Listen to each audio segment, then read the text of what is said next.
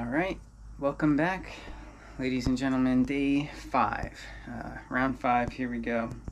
Uh, we got today. This is called King.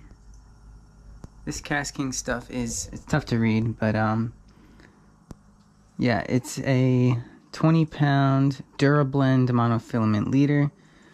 And so Durablend sounds to me like it's a copolymer.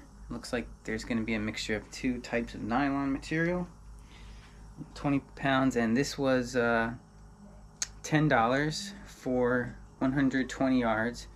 So it's about 12 cents a yard.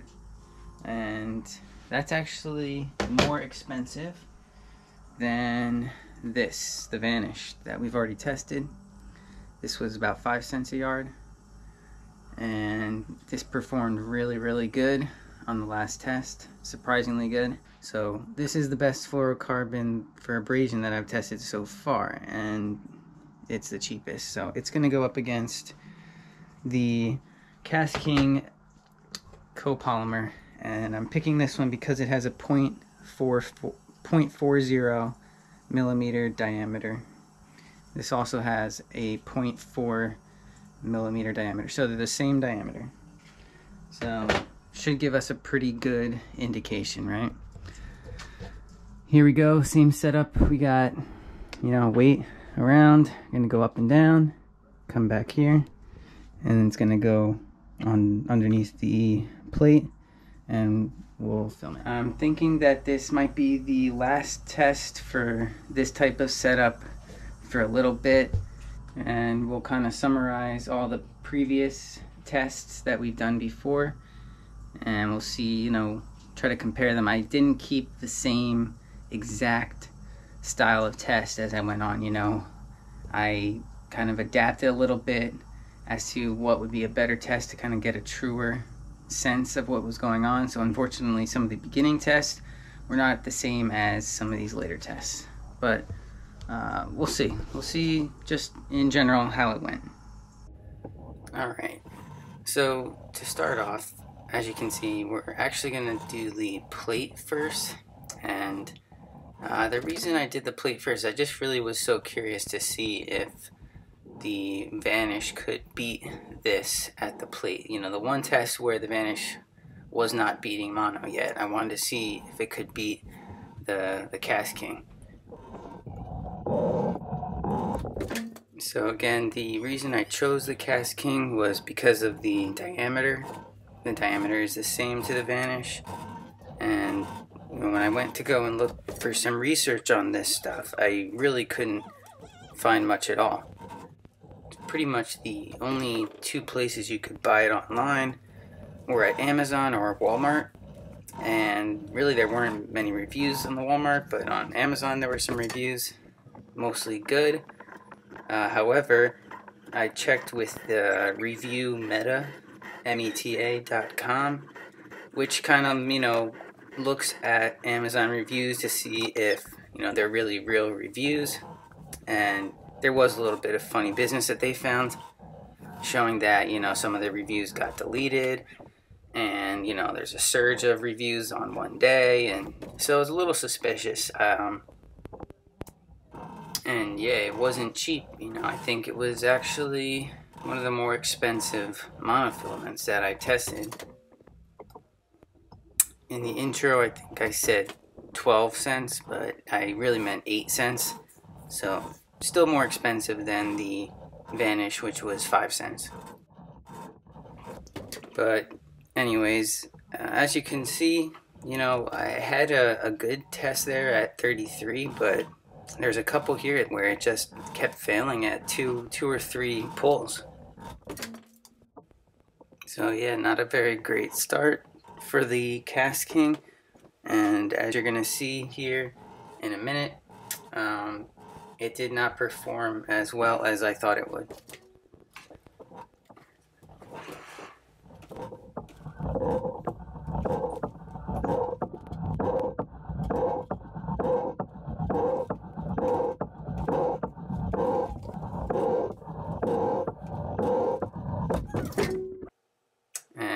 Here are the results. So as you can see in the beginning with just the raw data, the KastKing did come out ahead, but it had that 33 in there. So when you take that 33 out, the fluoro actually wins on the sharp edge test, which is the first time that fluoro beat mono on the sharp edge test. So it's very close though. I would probably call this a draw just because of the uh, you know the raw data had it leading. So because the vanish had a close value on the sharp edge as the previous day, I just tested it once for the smooth side and the coarse side just to see if I was getting you know similar data from the day before and if I did then I would move on and only test the mono the uh, seven times. I just added the value that I got to the day before's data and that's where, how we compared the two. So these next two tests went pretty much as expected. Uh, the Vanish did beat this one on the smooth side by a greater margin than the coarse side, but it beat it both times.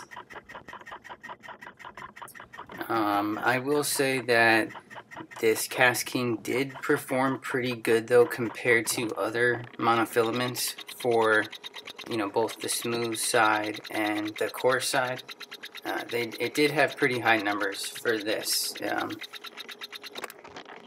and it really does make me want to revisit some of the earlier tests of the Ande monofilament and the blue label where we didn't you know we didn't have all three of these tests. We only had the coarse side and you know it wasn't we didn't just have as much data. So you'll, you'll see that. In the summary at the end of this video uh, you'll see a summary of you know pretty much all the tests and we'll try to come up with a you know a general theory on why things are happening but yeah the the beginning tests definitely need to be uh, revisited I think so here's the final tally for the smooth side and you know, as you can see, the 225 that I tested on this day for the fluoro added to the the uh, previous day's numbers, and it was the largest outlier. So we took it out along with the 110, and we came out at around 72% more for the fluoro. So moving right along with the last test of KastKing versus Vanish. Um, yeah, this is the first test for the Vanish Fluoro. And again, just like last time, I did it once, and if it got close to the values as before, I just said that it was gonna, you know, pretty much come out to the same. So we just added this value to uh, the day before's data, and then went along and tested the seven tests for the mono only. So in general, I think this uh, mono, you know, just the way I was tying knots with it, and the way you can see it here, kind of bunching up a little bit. Uh, it's you know, it does still fly material through the water, but it does bunch up as well. So you know, it, it resembled a little bit more closely to the Oziri hybrid. I think um, you know, it's probably like a slightly denser uh, monofilament uh, with the two nylon materials.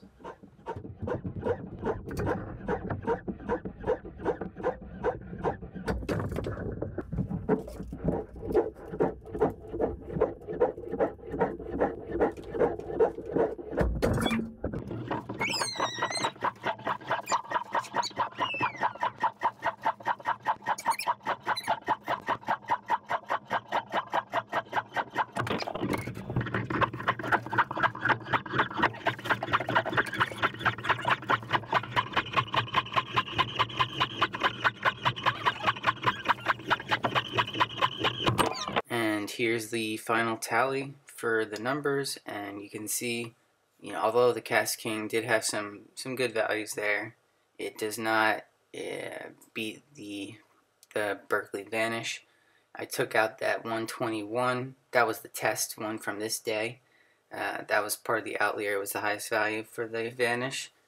And when I do that, you know, we get roughly 35% um, better or more more strength for the fluoro.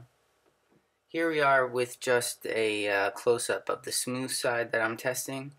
And here's the coarse side. I measured it approximately to be 220 grit and 120 grit if you compare it to sandpaper. And here's the summary for all the tests that I did. As I mentioned, I think earlier in this video, I didn't get the full three tests for the first Ande monofilament versus Seaguar Blue Label.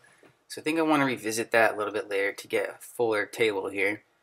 But as you can see, I outlined or I colored in red some of the values that you know weren't so great compared to the other values.